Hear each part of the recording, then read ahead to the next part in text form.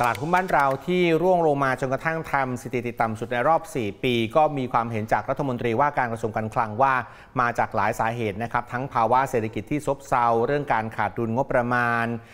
ตัวงบประมาณที่ไม่ออกมานะครับเรื่องของอัตราดอกเบี้ยที่ไม่เหมาะสม แต่ก็ยังเชื่ออยู่ว่าเมื่อเงินดิจิทัลออกมาสู่ระบบจริง ๆ ก็จะมีส่วนช่วยเรียกความเชื่อมั่นทำให้ตลาดหุ้นฟื้นกลับมาได้ครับ สนับสนุนโดย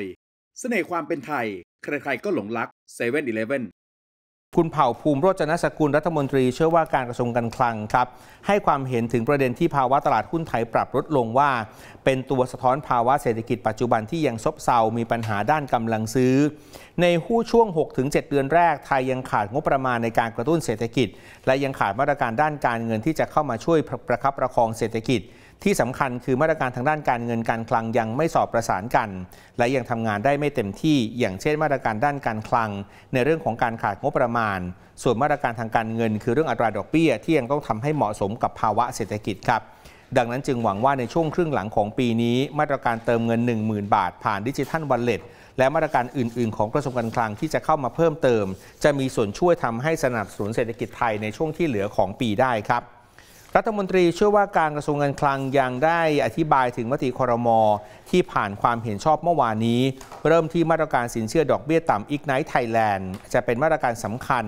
ที่สนับสนุนให้อุตสาหกรรมเป้าหมายเข้าถึงแหล่งเงินทุนได้อย่างเพียงพอสำหรับการพัฒนาศักยภาพในการทำธุรกิจ เป็นกลไกขับเคลื่อนเศรษฐกิจ และก็ยกระดับประเทศไทยสู่ศูนย์กลาง แห่งเมืองอุตสาหกรรมระดับโลก ตามที่รัฐบาลประกาศวิสัยทัศน์ Ignite Thailand เอาไว้ครับ โดยการสนับสนุนการเข้าถึงแหล่งเงินทุนให้กับผู้ประกอบการ SME ใน 3 กลุ่มเป้าหมายได้แก่ ศูนย์กลางการท่องเที่ยวครับ Tourism Hub ศูนย์กลางการแพทย์และสุขภาพ Wellness and Medical Hub และศูนย์กลางอาหารหรือ Agriculture and Food Hub ผ่านธนาคารอมสินวงเงิน 5,000 ล้านบาท วงเงินต่อรายไม่เกิน 10 ล้านบาท ระยะเวลาการกู้ไม่เกิน 10 ปี ดอกเบี้ยเริ่มต้นร้อยละ 2.5 ในต่อปีใน 2 ปีแรก และปลอดการชำระคืนเงินต้น 6 เดือน รัฐบาลใช้งบประมาณชดเชยให้กับธนาคารออมสินประมาณ 1,000 ล้านบาท เข้าไปสนับสนุนเรื่องสินเชื่อและอุดหนุนส่วนต่างดอกเบี้ยครับ นอกจากนี้ก็ยังมีกลไกการค้ำประกันสินเชื่อ ผ่านบรรษัทประกันสินเชื่ออุตสาหกรรมขนาดย่อมหรือบสยเพื่อให้ผู้ขอสินเชื่อได้รับสินเชื่อตามโครงการได้เพียงพอกับความต้องการในการทำธุรกิจ โดยฟรีค่าธรรมเนียมการค้ำประกันใน 2 ปีแรก และค่าธรรมเนียมร้อยละ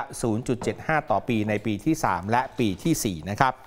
ขอบคุณที่ติดตามรับชมรายการทีเรนชั่วโมงทำเงินนะครับ คุณผู้ชมอย่าลืมกด Subscribe กดไลค์กดแชร์กดกระดิ่งในทุกๆ ช่องทางออนไลน์ของ TNN ช่อง 16 ด้วยนะครับ จะได้ไม่พลาดทั้งรายการสด และก็คลิปวิดีโอต่างๆ ที่น่าสนใจอีกมากมายครับ